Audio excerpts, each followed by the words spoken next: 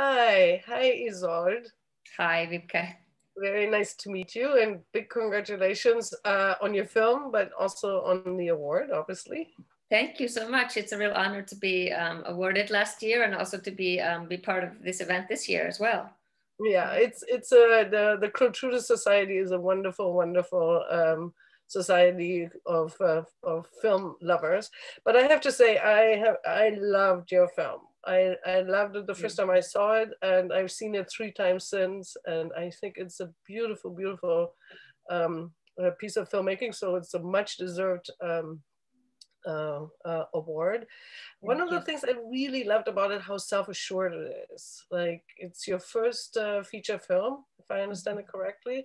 But yes. it's it it has like it has a it has very much an assuredness about it that is interesting. Like in in the imagery, um, but also in the storytelling and the pacing. Like it seems slow, but then it actually jumps forward uh, through all the plot points uh, and be- and focuses on the emotions. And I'm wondering, is that something that you were conscious of doing already in the script phase, or did it come about as you were shooting it, or was that paring down in the editing? I'm just wondering about the process. Yeah, I mean, it's it's a first of all a very long long process, and um, and I'm sure much of it is you know I'm, I'm aware of the decisions, but also it's just so many things. I mean, as you know, as a filmmaker yourself, so many things have to come together for it to work. Um, and yes, it is my first feature, but I had made four, directed four short films pr prior to that. I, I lived in um, New York City, although I live in Iceland now, I'm, I'm, from Iceland, but I worked as an editor in New York City. So I, I have this kind of very linear kind of editor's mind, maybe perhaps. Yes. So I feel like in this, you know, in the screenwriting as well, I kind of, I, I think kind of in, in frames, um, I think in shots, in, in a way. Of course you know an emotion like that's where the story comes from. Originally it's i want to tell this emotional story between two individuals and but um but in the actual kind of pacing of it i feel like yeah i i tend to vis you know so especially when i'm lost in the writing i kind of pretend like i'm in the theater watching the movie. I'm like what's you know looking for the rhythm. And um sometimes i play some specific types of um, kind of abstract the music um, to kind of get myself into the mindset and the rhythm of the of the film.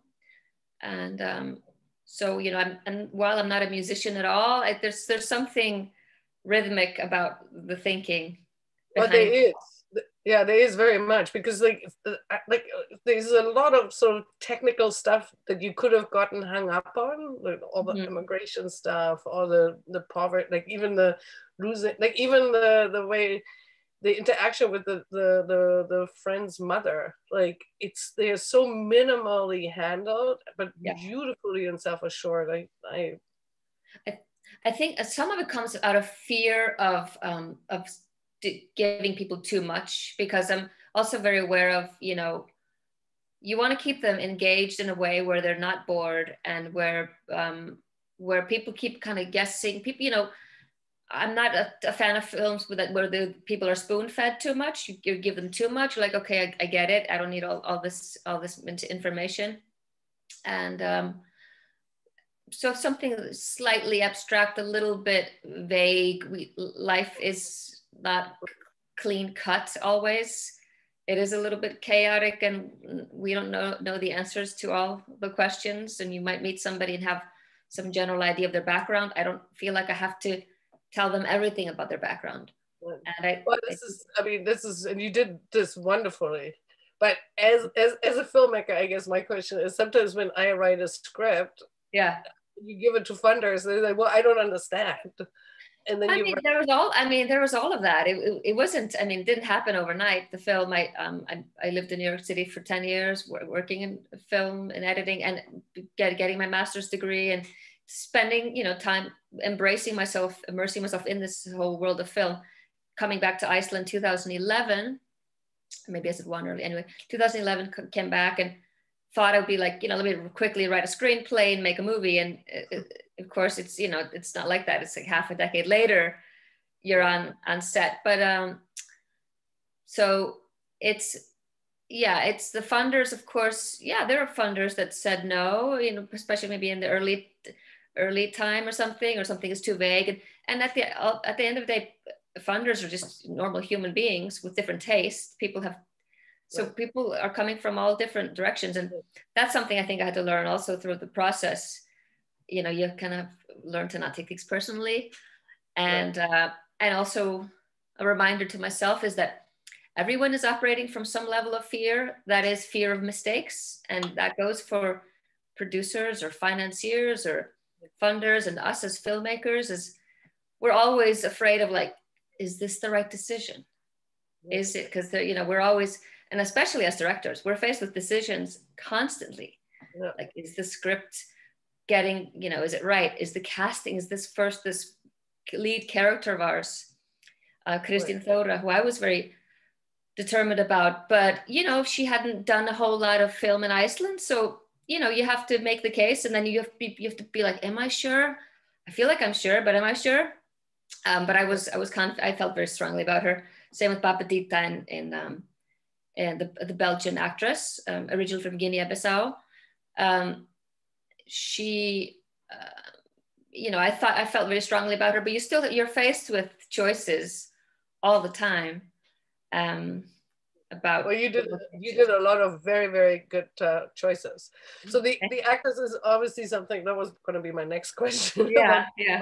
Actors because they're so amazing, and maybe we'll just talk quickly about both of them because the Icelandic, I thought they were both incredible. Um, um, Kristín, she she was really interesting because in North America, anyways, you you hardly ever find actresses like that with that physicality because it is mm-hmm. such a focus on like I'm gonna just say surface beauty. Yeah. she has like she really owned that part and I bought her the, the struggle that she was going through. But yeah, mm-hmm. tell me a little bit about how you found her. Yeah, I, had I had seen her uh, in a play in Reykjavik some years before casting, and I thought to myself, "Wow, she has this intensity about her. She I could just feel her talent. I could just feel how what a strong performer she is. And yet I thought, hmm, I've not really see her in films in Iceland. That's strange. Let me, you know, and I just kind of kept her in the back of my mind. And then finally, when everything kind of came together, the script, the funding, and all that, and we were in a position to cast, she was one of the actresses brought in.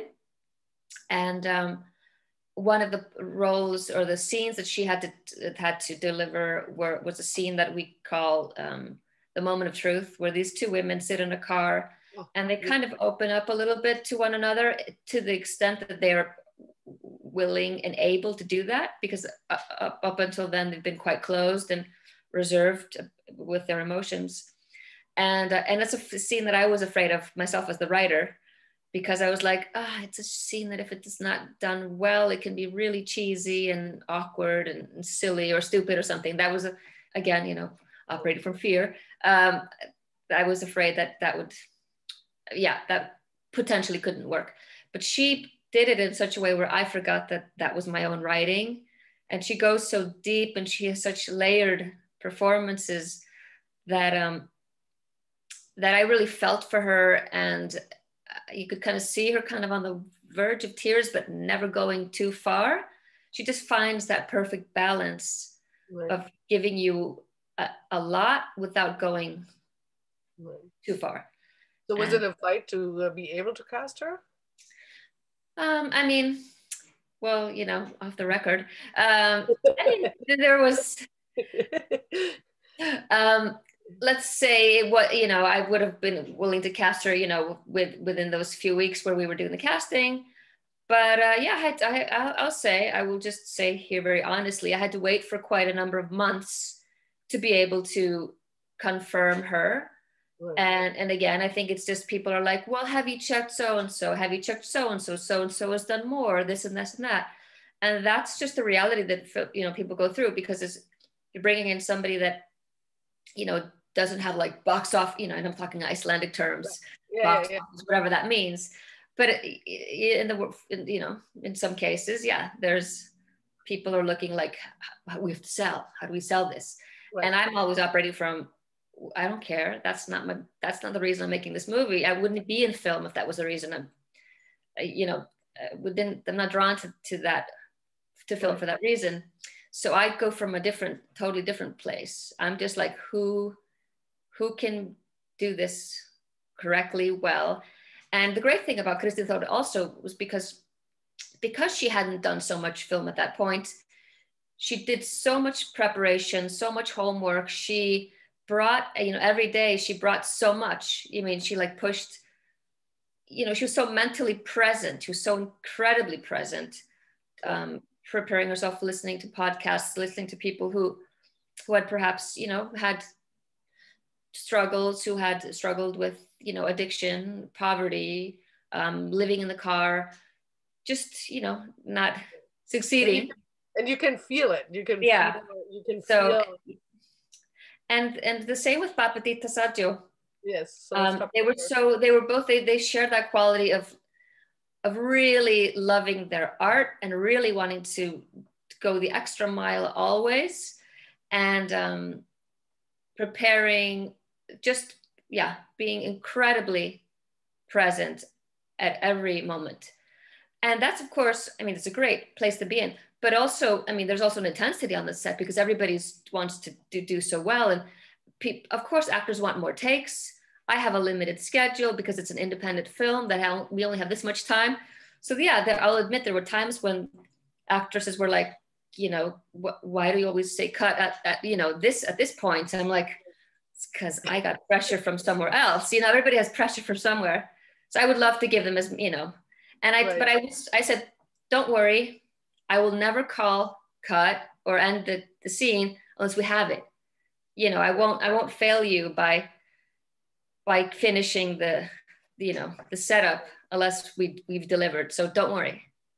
No, and you did you did not fail. I mean, the the incredible thing about um, Babita Babita is that. Uh, I've seen some photos of her and she's actually quite glamorous.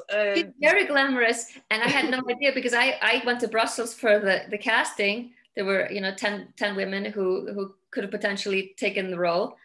And she came in, so she dressed the part of an asylum seeker who was on the road, who had a difficult time. And she, you know, in a good way, fooled me into believing this. I was like, oh, this is just her, you know, feel so close to her reality. This must be her reality. Um, granted, she is um, an immigrant. She did, you know, immigrate from from Guinea-Bissau, so she knows something as a child. But um, but in but she's but she's very beautiful, you know, glamorous woman in her everyday normal life. So, but she knew what the role required and um, knew that the director might, you know, maybe the director could be could be limited in in you know imagination and you know came in very much looking like somebody who was going through a lot. Well i mean she's she was absolutely incredible. I mean what this is going to sound weird but one of the things i loved about it is the way she walks.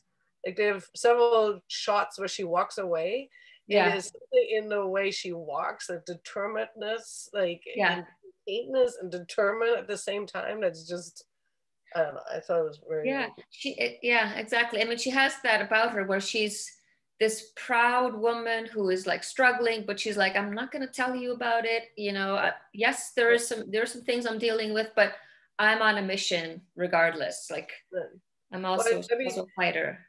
I think one of the main reasons I love this movie so much is also because there's this idea of kindness, mm-hmm. and that kindness you know, kindness will rule the day. Yeah. Like that moment when the she sees um, the Icelandic woman sleep in the car.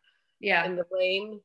Was yeah. that real rain or did you make the rain? No, that was Icelandic rain all the way. Okay. Not not all that weather was just you know compliments of, of Iceland. Thank you very much. So but, there was nothing like, but it's so perfect. Like she's in the rain. It's so miserable. She has every reason to walk away. She has every reason not to help yeah after all it's her who put her into this situation and then she walks away and again it's like this beautiful thing she walks away and then it cuts to and they're already they're waking up or falling asleep i can't remember but yeah uh, yeah i mean i think for some some of these moments where there's a difficult decision. I mean, again, like just like us, the filmmakers, the, the humans are dealing with decisions. And here she is, uh, you know, she sees something. She's like, wait, there's something off. Let me check. Uh huh. And she recognizes who these people are. There's a woman and a child, and she knows. And, you know, part of her is like, this is not my problem. I'm, you know, this, I can't, I can't get involved. And then, you know, there's this pause of like, but you know but i have to. And i feel like we can all kind of relate to it of you know something you're like well I, I don't i'm not obligated to help or become involved in this problem but but i'm human. And well, sometimes you just, you just can't help being human. Well that's it. And ultimately her redemption comes out of that act of kindness right? Mm-hmm. so. yeah it's a very hopeful message in that in that way. Yeah thank you. I mean it wasn't it wasn't like it wasn't conscious it was just it, it evolved in the writing. Because in the beginning right. it was it was me wanting to talk about poverty and women in a car and a child and you know not being able to kind of get by. Right. And then uh, adding the story of the ah, that's refugee, yeah that's interesting because I had one more question, but I think we have to uh, wrap it up soon. But yeah. I had one more question, which was about this whole like my idea of Iceland is a is a quite affluent country and a very just country, and it was so interesting to see that there are quite large holes in the safety net also yeah. so i was wondering like what was first wanting to talk about that or wanting to talk about these two women? It was i would say it was it was about poverty first because i mean i was living in new york city during the economic crisis in iceland. I observed it every minute of the day. I was obsessed with it. Of course it affected my studies in new york. My krona my icelandic currency became very devalued. Right. and uh, yeah i felt angry. I was like angry. I mean i hate capitalism. I like i'm like fierce hater of, of capitalism, which has, has ruined so much. Um, so I was, I first thought I was, because I made a short film about somebody who is dealing with economic crisis. And so I thought my first feature would be kind of that. Right. And then as it, as I evolved the material, um, I knew I wanted, I had that visual of a car, child, mother, not, not having a home, writing that for a while, six months, a year, probably taking it to workshops and then getting kind of little delicate notes saying, I think your story needs to go do more. Like it's this is not enough. Or it's too art European was the note. um, anyway, so while I was grappling with the film being too European, um, I observed more and more, um, or I, I started noticing stories in the newspaper in Iceland about refugees being stuck in between, you know, in the system, um, sometimes being arrested on their way to Canada, go, going somewhere else. And, uh, and so I started attending talks. I became um, a volunteer at the Red Cross. I just became kind of involved in that community to, to understand more, got to know some people personally, and, uh, and got to know a woman from Uganda who had fled due to her sexuality and became really um, excited about tackling this. I was like, this is what I really need to talk about. Right. And so, you know, then after that, you know, here's the cut to me sitting in the library being like, this story and this story, how to tell both. Right. And um, spending a lot of time at the in this the airport town where the film takes place. They have they had an asylum there for refugees I would visit. I would just kind of spend time like in that area, photographing, procrastinating because writing is so difficult, and uh, and yes, trying to look for inspiration, right? And uh, and dealing with it all a bit like it was a puzzle. Like okay, I, in either moments, I mean, I knew kind of early on, like I was like, I feel like I have an ending in me. Like this is kind of what where a film like this would end, and I know where I want to end it, right. and I kind of know where it would start. But what what do we do with the middle? Well, that's you know? what that's what I need. I need a beginning and an end, and then yeah. the, the rest. But it's not so easy. no, I know exactly. It's you know, and uh, and then you have these little breakthrough moments as you know as as a filmmaker yourself when you're like ah i know how where they meet first or i know where the turning point is and then you have a little victory dance at the library. People have no idea why you're you know celebrating in a you know your little personal victory lap. And then you can continue like okay. So they're the little mini victories that help it help you survive this grueling process of writing. Yeah. Well, I hope uh, I hope this award you will look at the award, and I have a couple uh, up there from the Chlotrudis. It does help me, uh, you know, to keep going and to. Thank you. Yeah, it, really means a lot. I'm really thankful um, to the society and for, to you for conducting this interview, and and hopefully I can, you know, attend in person one day. It would be amazing. Yeah. But uh, yeah, it's been an honor to uh, to be to have my work acknowledged by such an important society that focuses on independent artistic voices. So that that's what they do. That's what they love. And you did a beautiful, beautiful film. So I can't wait to see your next one. Thank you so much. And thank you for having me.